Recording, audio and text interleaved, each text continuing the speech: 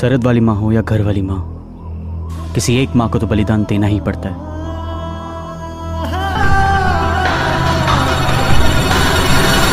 भारत माता की।